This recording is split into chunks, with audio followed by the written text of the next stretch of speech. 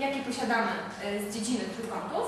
E, I przygotowałam dla Was kilka e, ćwiczeń, które spróbujemy sobie wspólnie rozwiązać. Pierwszym ćwiczeniem jest to, które właśnie ukazuje się nam na tablicy. Mamy tutaj znane już dla nas trójkąty i zadanie polega na dopasowaniu ich nazw niemieckich do każdego z trójkątów. Kto spróbuje rozwiązać to zadanie? Maciej. Komm an die Tafel. To jest e, Mhm. Und auf Polnisch E, Trójkąt prostokątny. trójkąt prostokątny. Stumpfwinkliges Dreieck to jest trójkąt rozwartokątny. Bardzo dobrze. I został nam ostatni. Jest to Gleichschenkliges Dreieck. I to jest to trójkąt równoramienny. Równoramienny. Sehr gut. Dankeschön. Grundseite, Mhm. e, hypotenuzę, Dobrze. em, Antetheide, Mhm.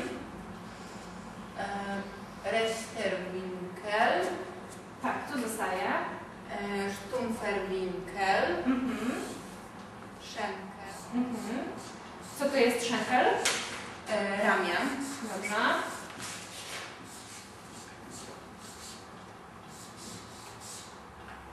Okej. Nie jest e, Szenkel, dobrze. Co jeszcze tutaj mamy?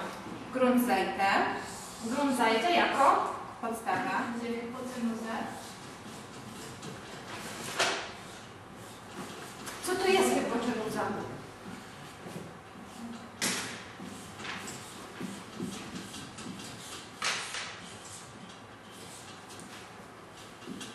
E, To jest e, tło przeciwprostok- przeciwprostokątny.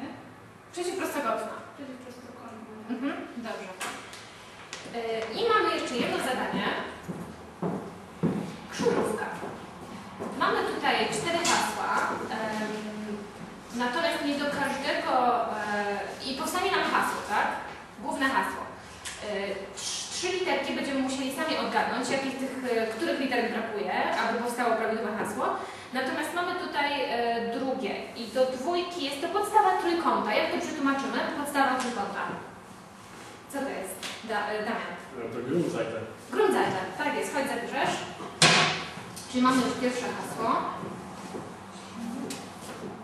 Grundseite.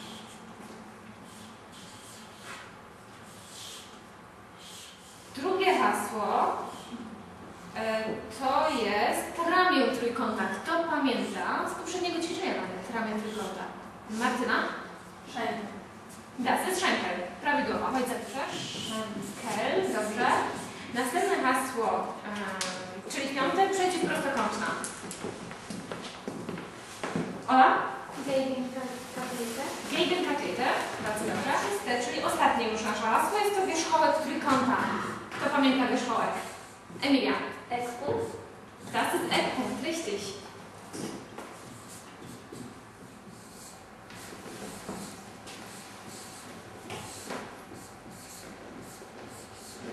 Dobrze, jeśli, skoro już jesteś przy tablicy, to może zapiszesz od razu hasło. Jak myślicie, jakie to hasło jest?